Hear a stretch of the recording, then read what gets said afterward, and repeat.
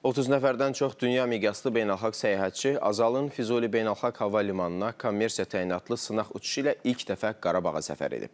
Bir il əvvəl ağıl döyüşlərin getdiyi Füzuliyə məhz şəhidlərin anım günündə növbəti sərnişin təyyarəsinin enməsi tarixi zəfərin daha bir nəticəsi kimi rəmzi məna daşıyır. Dünya miqyaslı beynəlxalq səyahətçilər Füzulidən Ağdamın işğaldan azad edilmiş ərazilərinə səfər edəcək, Ermənistanın törətdiyi vandalizm və vəhşiliyi öz gözləri ilə görəcəklər.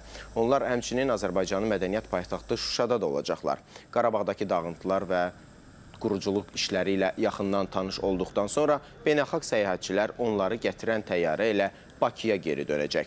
Azərbaycana bir neçə günlük səfər çərçivəsində dünya səyyahları ölkənin digər bölgələrində də olacaqlar.